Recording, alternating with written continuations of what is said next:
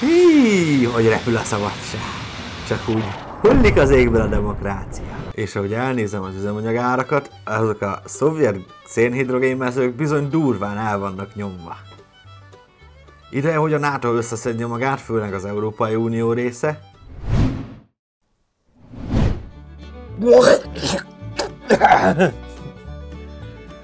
Csalánpálinka.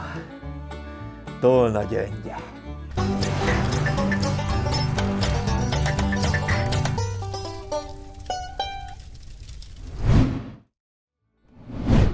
Felfegyverzett, itt a szép napot kívánok! Ez itt a Rednek híradó velem, Rickenbacker Erik Gusztával. Má megint igazam lett, a szankciók szart nem érnek. A szovjeteket csak egyféleképpen lehet demokratizálni. Erre az összes kamu meg látszatpolitikus mindenféle módokon próbálja megmagyarázni, meg csökkenteni a szovjetek gerjesztette inflációt. Megy is a neres kommunikációs kampány, hogy Brüsszel belefosott a gatyámba, Brüsszel megverte a feleségemet, Brüsszel nem emeli a tanárok bérét. De érzitek? Valaki közben belefingott a liftbe. Matolcsi Gyuri, alias a kutató tekintetű közgazdász, hát milyen kurva okosnak látszik hirtelen. Volt ennek bizonyítéka korábban is. Például, hogy azt mondta, meg lehet élni 47 ezer forintból. Pedig Matolcsi György gazdasági miniszter azt mondta, hogy ez az összeg elég a szerény, de biztos megélhetéshez. Már pedig aki meg tud élni 47 ezer forintból, az kurva nagy pénzügyi zseni. Most meg megmondta azt, amit eddig is mindenki tudott, hogy a kommunizmus rossz. Pedig eddig, korábban, hogyha megszólalt, azonnal leugrott a forint a háztetőről.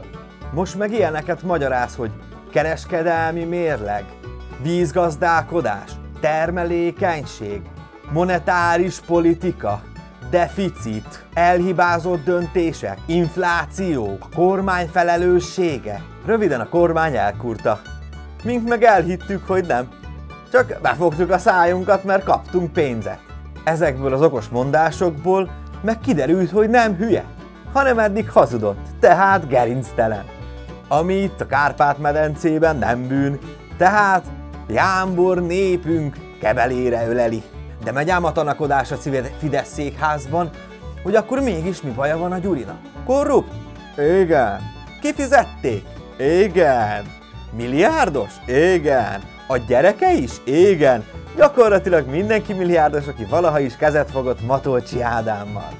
De akkor mégis mi baja van a Matolcsi Gyurinak? Hogy kimondta azt az igazságot, amit eddig közösen együtt tagadtunk. Szerintem, ha valaki, akkor Matolcsi pontosan tudja, hogy mikor fogy el a NER pénze. És akkor bizony jön a csúfos bukás. Ő pontosan tudja, hogy mikor fog lep- lerepülni Vitya fejéről a sapka, úgy, mint a ceausescu És bizony ebből a bukásból a Gyuri nem kér. A milliárdokat, meg a pécsi sörfőzdét köszöni szépen, viszont nem lesz ott a ház mögött.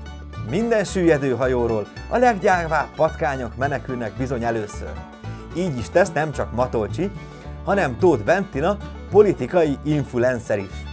Ő az a közszereplő, akit férgekből és kézműves szilikonból vart össze a kortárs kínai doktor Frankenstein, a TikTok. Még ő is látja, hogy ebből bizony baj lesz. A kormány meg a lehető legtehetségesebb, legügyesebb módon kommunikálja a magyar állam és gazdaság helyzetét. Már megint a kibaszott Brüsszel miatt van minden. Ha túlárazott közbeszerzésekről van szó, akkor van pénz, ha tanári béremelésről, akkor nincs pénz. Tehát van, tehát nincs, tehát van, tehát nincs, tehát van, tehát nincs pénz. Én meg érezem a szuronyt, számolom a lőszert erre, mi történik. Varga Mihály baszik vétózni, az EU megállapodik a magyar kormányjal. Az ukránok megkapják a pénzüket, az EU-ból dől a helyreállni, nem tudom milyen alap, pénz, alap, helyreállítási alap, pénz, és elfogadják az iparűzési adót globális minimumadónak. És cserébe megengedik, hogy ellopják a pénzünket. Így elmarad az éjséglázadás, és nem esszük meg a politikusainkat jó holland szokás szerint. A NER kreténebbik fele a Feri meg a DK meg közben dőzsöli a tenyerét, hogy majd ők mindjárt kormányt fognak alakítani. Csak akkor bizony ki fog törni a polgárháború. A magyar ellenzéknek az összes programja annyi, hogy nem értenek együtt a fidesz -szel. Ha éppen van benzinársapka, akkor nem kell benzinársapka. Ha megszüntetik a benzinársapkát, akkor miért szüntették meg a benzinársapkát, legyen benzinársapka. A magyar parlament, de még az EP is abban a hitben vannak, hogy az eddig látszat politizálás továbbra is működni fog. Az EU nem szól másról, mint hogy mindenkinek be kell tömni a száját pénzzel, és akkor majd nem esnek egymásnak a különböző népek. Ez eddig működött, csak hogyha ruszkiknak pénzt adsz, fegyverre költik. És a gázzal való zsarolás mellé be fogják húzni az élelmiszerrel való zsarolást is. Tehát a Szovjetuniónak már pedig vesznie kell, mert terroristákat pénzzel, tömegpusztító fegyverei vannak, meg olaja, meg gáza. És olyan gyévocskáik, hogy bűn rájuk pazarolni ezekre a részeges vademberekre. A Chamberlaineket ideje Churchillekre váltani.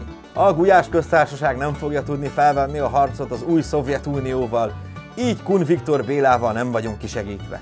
És azokkal a balfaszkodó nyugat-európaiakkal sem. Ezért hát az örökérvényű déli bölcsességgel kell búcsúzzak. Vegyetek fegyvert, kurva sok fegyvert, és még több lőszer. Mert egy olyan való világban élünk, ahol lőnek ránk, cserébe mi meg a, az elnyomott cápákkal, meg a náci rendszámokkal vagyunk elfoglalva. Iratkozz fel, különben sose jut neked semmilyen orosz gyévocska, hanem csak valami lábszagú dán nő.